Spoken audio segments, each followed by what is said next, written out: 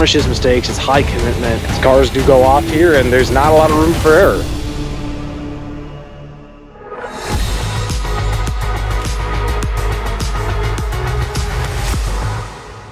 So this is Paddock Hill Bend, and this is one of the coolest places in all of international motorsport. Somewhere I've been looking forward to coming to for a long time. Essentially here at Brands Hatch, the cars start up on the front stretch there, the green flag goes and they come flying down this hill. There's a massive elevation change and then they go right back uphill again. It's an incredible place. A lot of the photographers have told me that it's an unbelievable place to to stand on the outside to see the cars coming through here and it can be pretty sketchy as well. Cars go into that gravel pit over there but i'm really excited for this weekend here at brands hatch. Like this is such a cool racetrack. I've played it in the sim. I've seen races here my whole life you know on tv so to finally get to come here and check it out it's really cool and Getting to do a track walk is amazing. I love doing the track walk or going for a run on the track at the different circuits I go to. Not only do you get to have a cool map on your Strava, but also just to see what these circuits are really like for the drivers and get them, you know, a nice up close and personal view. And it gives you a whole new appreciation for the elevation changes and the track surface and everything else. So I love coming out here on track walks. Back in the pit lane now. Actually went for a lap of the entire track. So walked the track, which is great. Uh, Jono, one of the McLaren engineers, uh, if you remember him from the Abu Dhabi vlog, he wanted to go running on track with me, but he got held up working. Honestly, after walking it, kind of glad, kind of glad that I didn't run it because that's doesn't seem like a very fun track to run. So lots of elevation.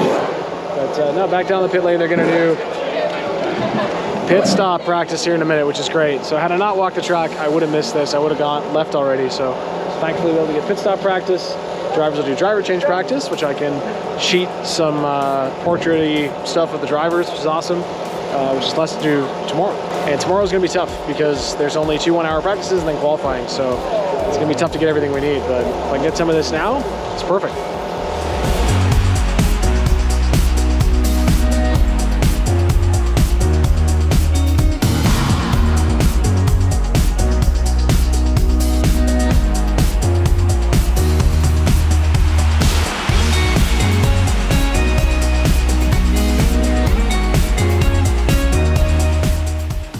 So just finished up for the day, just got back to the car park and uh, it's time to head back and have some dinner. Ended up being a pretty late night. It's 10 after 8, so hopefully I can go and uh, grab some food on the way back. I'm starving.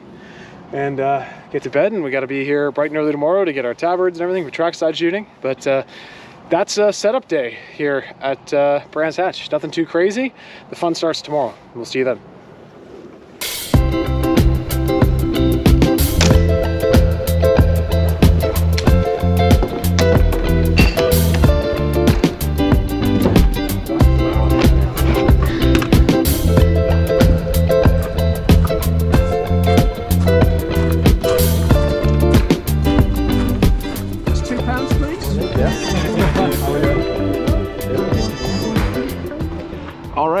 Welcome to Brands Hatch for Saturday of GT World Challenge. Today we have two one hour practice sessions and then two 10 minute qualifying sessions. So not a lot of track time, total of two hours and 20 minutes. So green flag is gonna come out soon and cars will be coming down the hill here. Uh, well, up the hill here, I guess, right here at kind of I believe this is like turn three area, turn two, turn three. I don't know the turn numbers here yet at Brands Hatch. Uh, feeling a little under the weather today. Feeling a little, uh, little sore throaty. I'm traveling a lot, so those things can happen. So just taking my vitamin C and uh, just got to push through it. So we'll get the session started and I'll check in with you guys in a little bit.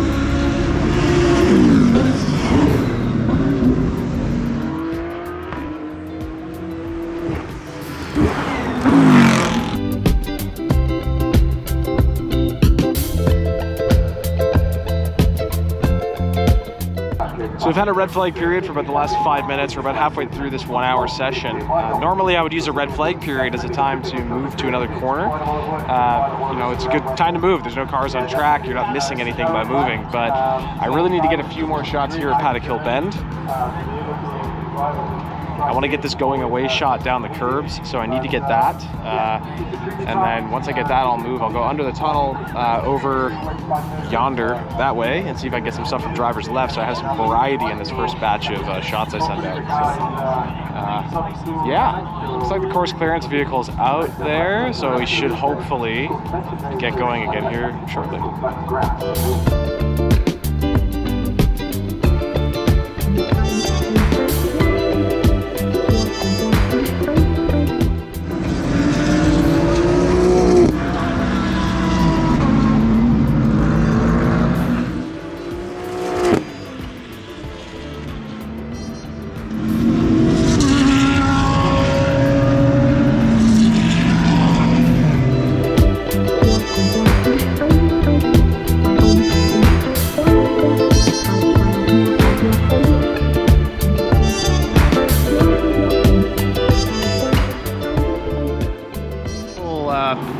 Session actually went pretty well despite the two red flags. Was able to get everything I needed. Got some editing done now, sent some clips. Now it's pretty much just time for uh, FP2, which I'm gonna do down here in the pit lane. So I have to do a fire suit and uh, have my helmet with me. It's hanging over here. But uh, new for this year at the sprint rounds, uh, we have to wear fire suits. So in the past at sprint races and GT4 and stuff, you're able to just be out here with just a helmet because there's no fueling going on, right? There's no fuel rigs or anything, but uh, new rules, we all have to be uh, in fire suits. So here we are in my fireproof suit. Luckily the weather's uh, pretty good, it's like 15 degrees Celsius, so we're not getting uh, too steamy in our fire suits, which is nice. Not like uh, Malaysia last year or Japan. So looking forward to practice two. For this practice, I have the Ronin RS2 gimbal and I am shooting uh, vertical. I am set up vertically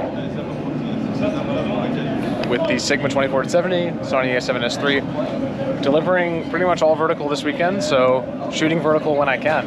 Hurts my soul, I've said that multiple times, but uh, vertical content sometimes requires vertical shooting. So here we are, the gimbal mounted vertically.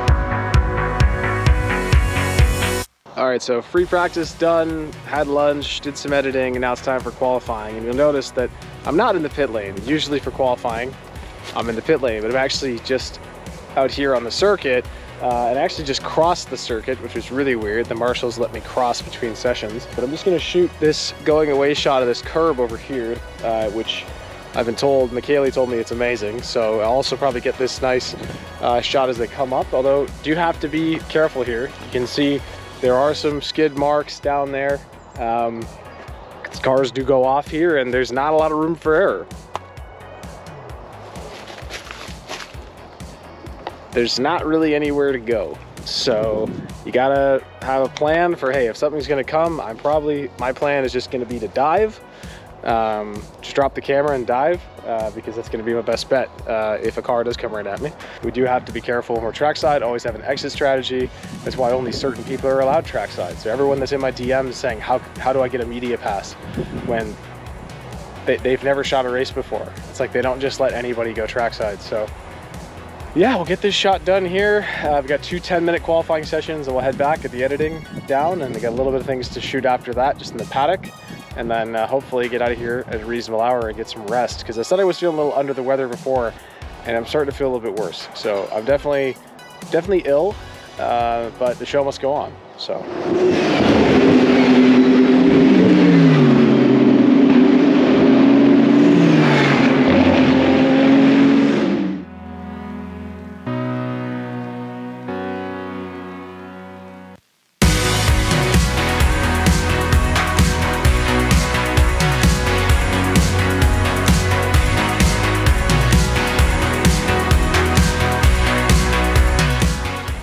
Really been enjoying this racetrack. This is such a cool place. Uh, oh, there's a magpie down there.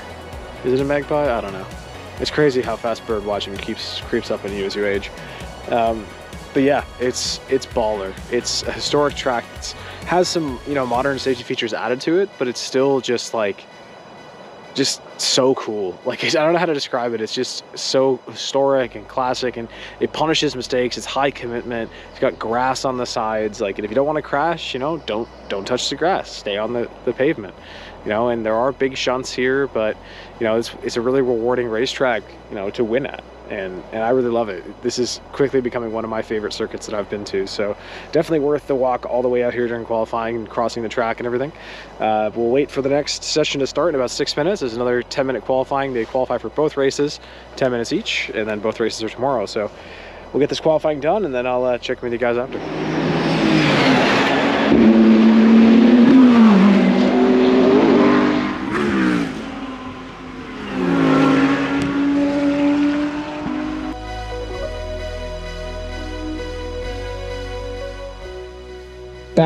In the rental car, back in the very muddy parking lot, and getting ready to head out for the day.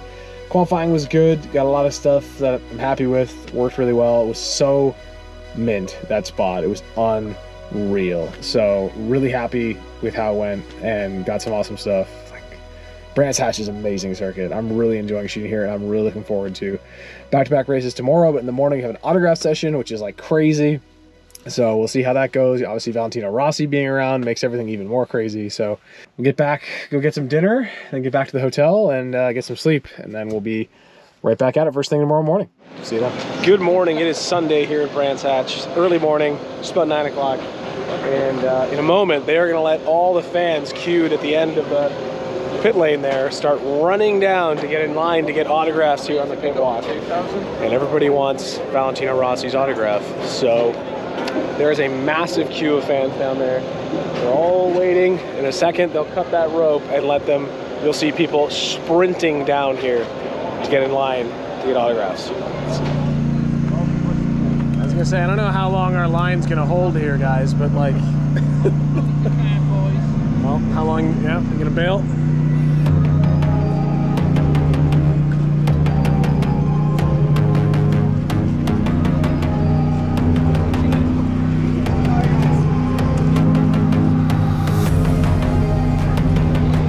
Pretty crazy, just the sheer number of people. Although it is very organized, people are generally quite respectful. Uh, so we haven't reached like Le Mans parade levels of craziness, but uh, it's definitely uh, a lot of people, a lot of passionate fans that are down here. Of course, Valentino Rossi is the most popular. His line is massive compared to everybody else. Kind of feel bad for some of his teammates who are sitting there and not too many people are interested in their autograph, but uh, no, it's really cool to see how passionate everyone is about motorsport and, and, and you know loving these drivers and wanting to come down and meet them and get autographs. And the fact that this is included in a regular ticket price here at Brands Hatch so you can just come down and do the pit walk.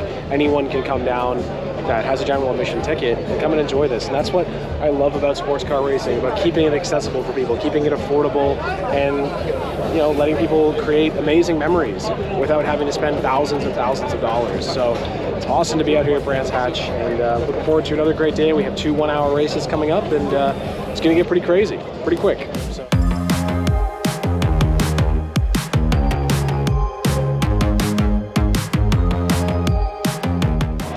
Right, down on the grid for race one. They're pushing all the cars into place. All the VIPs are out here hanging out. Got about 10, 12 minutes here before we all have to clear the grid and head down to turn one and shoot the start. So we get a few shots here and then it's off to turn one.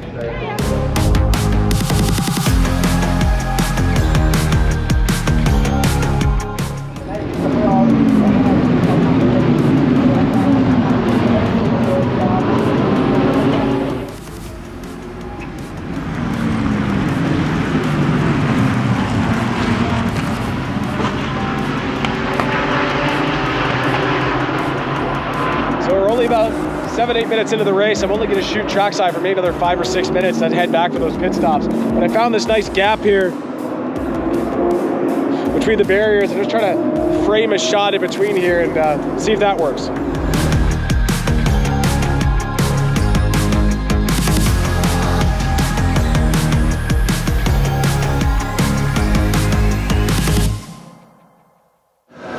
Know, I thought the Endurance Championship was difficult with the two pit stops and the three hour window.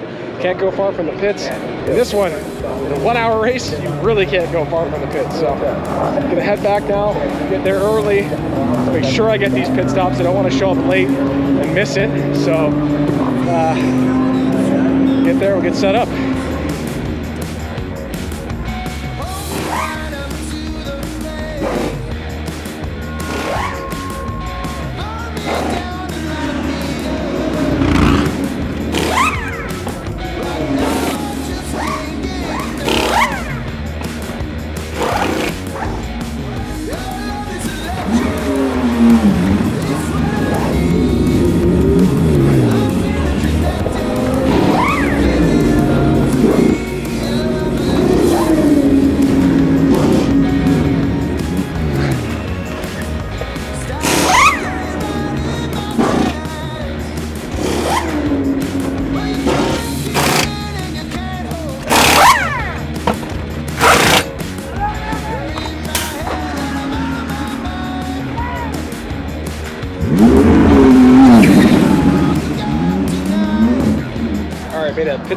In the media center to swap gear, going vertical with the A7S3 and the 24 to 70 for this uh, celebration stuff at the end here. Looks like we're gonna come away with this one, BMW P1 right now, so we'll see how it goes.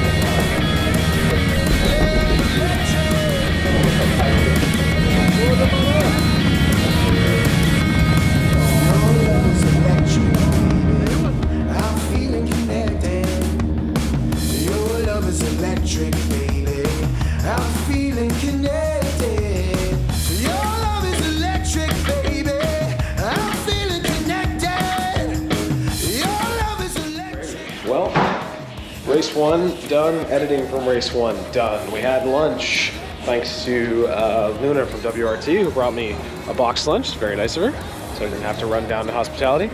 And now we're gonna head to the pits to get uh, the drivers getting in the cars hopefully, and then we'll go to the grid, to the grid for race two. It's now cloudy and not great out, 50 shades of gray as we call it. Um, yeah, so that's not great. In fact, there's actually a threat of rain, and it's cold, so I had to throw my jacket on. But yeah, it's gonna be a good race too, trust me. Uh, looking forward to it. I'm not wearing my fire suit this time because I'm going to, I'm not gonna shoot pit stops in the pit lane. I'm just gonna stay out on track until near the end of the race. So uh, I have a good pit stop from the first race, so I should be good with that for my edits. So I don't really need uh, much else.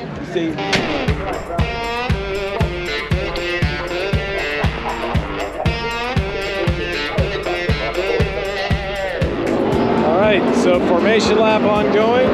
We shoot the start from right down here.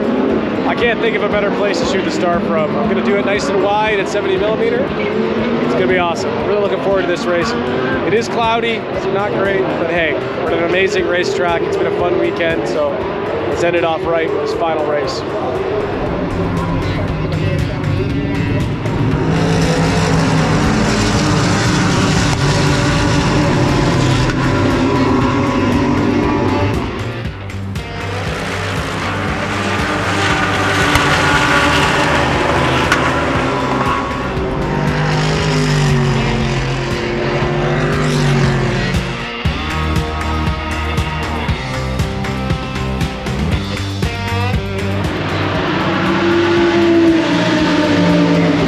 Spend here at Brands Hatch, the more I realize how great this track is for spectator photography and videography. Like you could just buy a ticket and come here and get amazing stuff because you can still get super close to the cars in many parts of the track. And other than maybe a few catch fences in front of you, you can get a lot of amazing shots just with a general admission ticket. And that's why I love old school circuits like this because they allow you to get close. They allow you to, you know, enjoy photography as a fan. And events like Sports Car Racing, GT World Challenge, it's awesome because you can just buy a ticket, bring your camera, and practice your photography. I started as a fan, taking my camera to events, and now here I am. So you never know. We always say you don't need a media pass. Just buy a ticket, start taking photos, build your portfolio.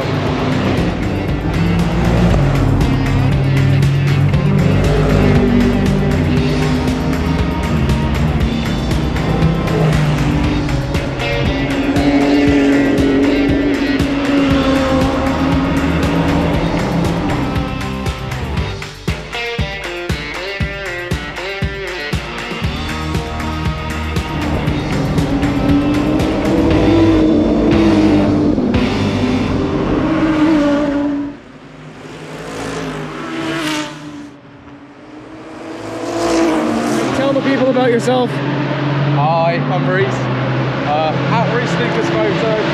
Uh, I'm walking with Mark back to the, the paddock. Race almost over, so it's an hour. They go by so fast, man. It's like you have time to shoot a little bit out, and if you have to do pit stops, you have to run back. Like I did that for the last race, and I was like, nah, no pit stop, second race. I want to go in the woods for a bit, so. Like, what makes this track so good? Probably how close the cars are. How risky it is if they go off. Probably also just, you don't really get much different racing like this in the UK really. Like, especially for an international event.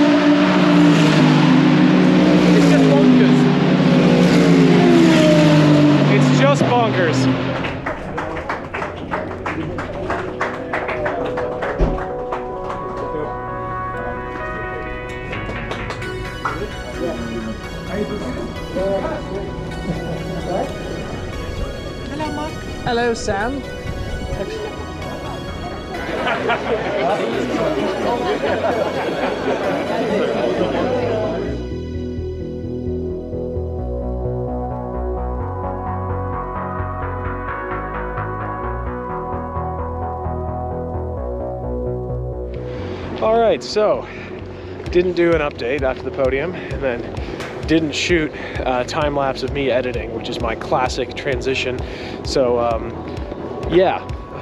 But anyway, uh, here we are, finished up at Brands Hatch on my way back to the car. It was an amazing weekend. Didn't have enough time at this circuit. That's my one big takeaway. It's great to have a two day weekend. Well, I mean, I was here for setup day, but really it's a two day weekend of cars on track, which is great. You get in and out, but I really wish I had more time to shoot the cars here because it's such an amazing circuit and I didn't re- really get to see enough of it, you know. It would be great to come back here and shoot another event. I've had uh, the other photographers telling me that if I like this one, I'll really like uh, Oulton Park as well here in the UK. So I'd love to get back here to the UK and, you know, shoot some more of their circuits because they just seem like classic, like untouched historic circuits, which is which are the kind of circuits that I love. But we did end up with one car on the podium today, so got that. Got a little piece finished for BMW to celebrate that podium. They put it in their Instagram story, and then got another little piece done for another client, sent that off, and then honestly, all said and done, out of here pretty early, pretty quickly after the race, about two hours after the race ended, I was done, so not bad. We're gonna head back at flight tomorrow morning uh, home. Long day of travel tomorrow to go to Amsterdam and then switch planes and fly to uh, Toronto from there. But all in all, it was a really fun weekend. Uh, the marshals here at the circuit were amazing, super helpful, super kind. Uh, all the other photographers I met, I met lots of people as well that follow me on Instagram and watch the vlogs, which was really cool. It's been really amazing that even with the small following as I do have, I've run into someone everywhere I've been that follows me, which is incredible. Whether it's Spain, Portugal, Dubai, Australia, no matter where I've been, I've had someone come to me and say that, you know, they follow me on Instagram, which is amazing. It means a lot to me when people do that. So I really appreciate everybody's support. Uh, if you are new here and you made it all the way to the end of the video, please hit that subscribe button. It is free, it doesn't cost you a thing, and it helps me a lot. You also hit like, leave a comment for things you want to see in future videos. I tend to do other types of content in between the vlogs. If you want to get one of these awesome Locked Down brand hats that's covered up by my sunglasses, there we go. There's a discount code down in the description. Use my code MARK10, you get 10% off, and I get a small commission. And all the music you heard in this video is from audiio.com. There's also a link and a discount code in the description below. All the details are down there. So if you want music for your videos, audiio.com. Well, everybody, thanks so much for watching. Really appreciate it. We'll see you in the next one.